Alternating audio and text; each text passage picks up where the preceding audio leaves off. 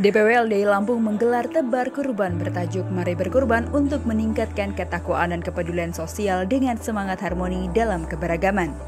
Ketua DPW LDI Provinsi Lampung Aditya mengatakan tebar kurban menjadi ibadah bersifat pribadi sekaligus sosial. Tebar kurban juga bisa dimanfaatkan umat Islam untuk menjaga toleransi antar umat beragama. Kami membuat uh, surat himbauan ke teman-teman di DPD, di IC dan BAC untuk selalu memperhatikan uh, kesehatan hewan.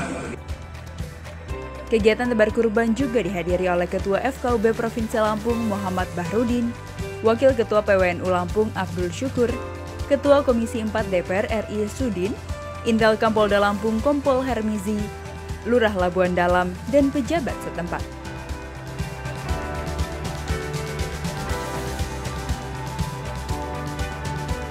Klik like jika menyukai video ini dan subscribe untuk mendapatkan berita terbaru dari LDI TV.